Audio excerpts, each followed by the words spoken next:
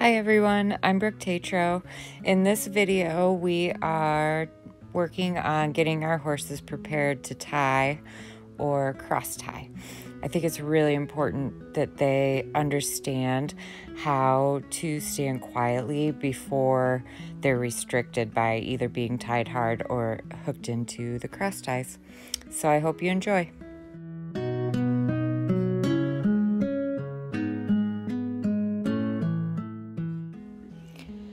Let's just discuss this a little bit while I go through my grooming process um, here with Paris. So I'm sure you've all been to the that barn, or maybe you're at that barn now, where when you walk through, you know, horses are hooked in the cross ties and they're pawing and wiggling and throwing their heads, and um, or you've seen ones that are tied hard and that suck back, which um, is such a terrible habit and a very hard one to break um, but it is preventable. And I think it's really important that you take a good amount of time teaching your horse how to stand quietly um, before you would him or cross time. I very rarely use cross ties anyway. Um, I might if I just need to leave the horse unattended for a minute while I run to the restroom or grab something I forgot. But most of the time, um, they're just gonna ground tie or I'm gonna hold the lead rope in my hand. And then sometimes, depending where I'm at or what I'm doing, I'll tie them hard. But rarely do I use cross ties. I think that they're used because the person doesn't want to take the time to teach the horse how to stand quietly. So it's just a shortcut, and we all know that those never end up um, being what we want in the end.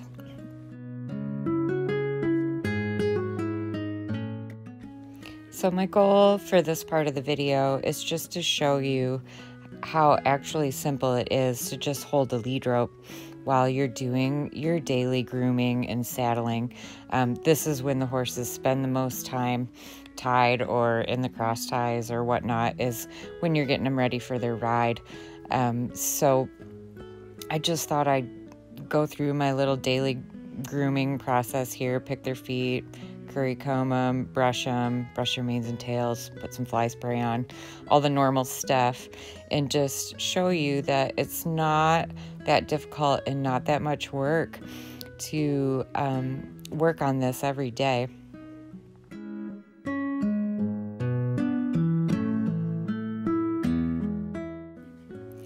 So this horse is, you know, pretty quiet for a real green three-year-old, but there was a time when she wasn't. And so if your horse is really wiggly, it just cannot even remotely stand still at all, then I would take him in the arena and do some groundwork and then bring him back in and try to groom him.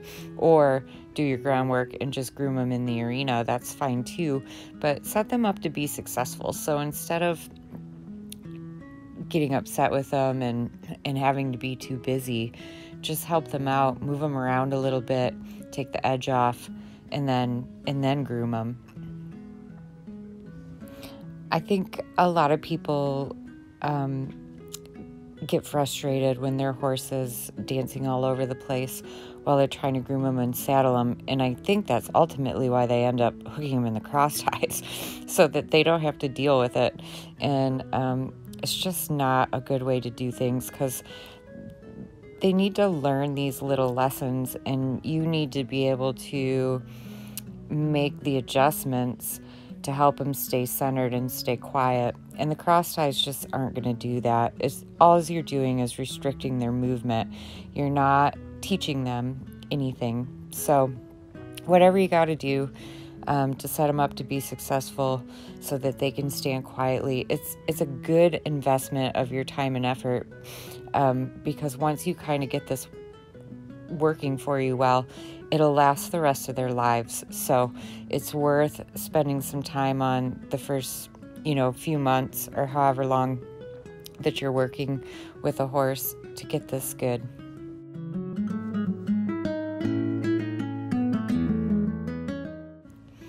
So it's pretty simple. I'm just going to loop the lead rope over my arm, uh, whichever arm is easiest depending on what side I'm on and what I'm doing. And um, that way I can give them little corrections. If she walks forward, I'll back her up. If she walks backwards, I'll bring her forward.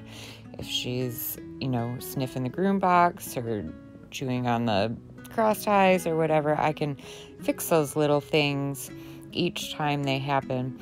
And then when she's just standing quietly, I can just uh, leave be. And they learn pretty quick that it's a pretty nice thing just to stand here and, and get brushed and fussed over um, and they can they just relax right into it.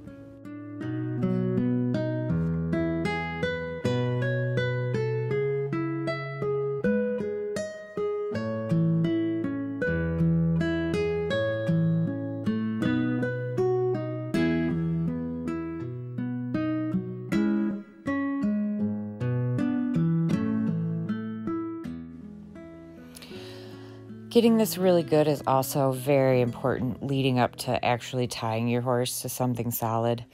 Um, we talked a little bit earlier about sucking back and what a terrible habit that is, and, and how hard it is to break once they start to do it. Um, and most of us are going to want to tie our horses. You know, we're going to tie them to get them ready. We're going to tie them in the horse trailer. We're going to tie them to the outside of the horse trailer. Um, so, it's something really, really useful to be able to do, but also needs the appropriate prep work so that you don't get one sucking back or, or having um, problems being tied. And this is a large part of how to be successful at that. Just making sure that they know how to stand quietly during all of this and getting saddled. And then, of course, the second part of that is them being good at their groundwork and knowing how to give to pressure and come forward off of pressure and all those things. So,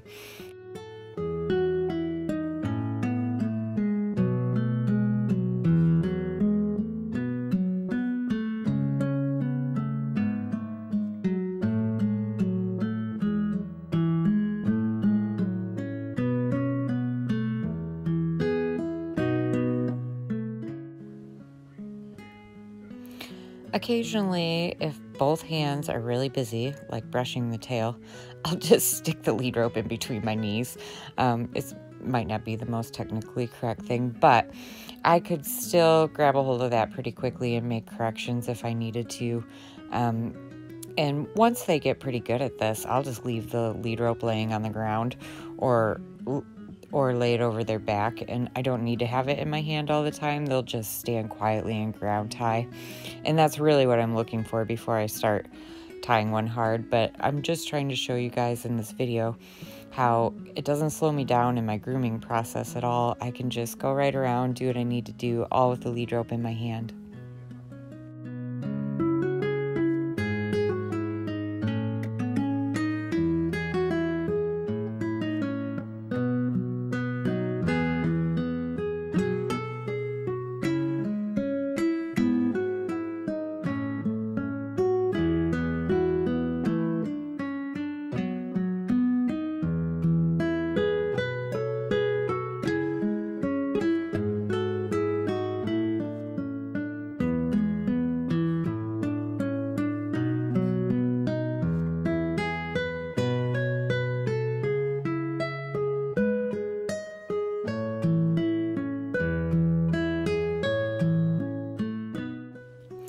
Now I'm just going to show you how to saddle him doing the same thing. Um, this horse is young. I don't saddle her in the grooming area. I could, but um, I'm riding a lot of young horses right now, so I'd rather just um, throw my saddle on the fence and then I can saddle everybody in the arena.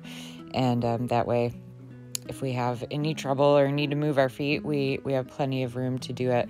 Plus, I'm little and my saddle weighs a lot, and I really got to give it a good swing to get it on uh, most of these horses. So I just have way more room in the arena to do that. But the concept is the same as with the grooming.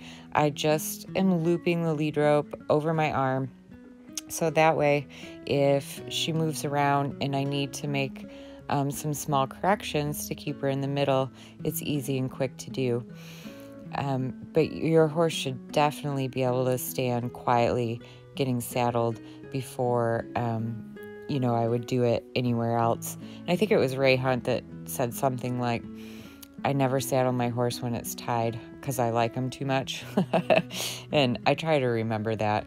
So even if I have my horse tied to the trailer and I might groom him and throw the saddle pad on, but when I go to throw the saddle up and, and cinch him up, I, I always untie him just in case. This particular horse um, found the saddling process pretty troubling for quite a long time. Um, so it's really important um, to keep working on it till they can stand real quiet and relax like this. So for me, it was really beneficial that I was confident and comfortable saddling them, holding the lead rope. and I would have to brush her and then bring her in, do you know, 15 or 20 minutes of groundwork, then saddle her, then do another 15 or 20 minutes of groundwork before I rode.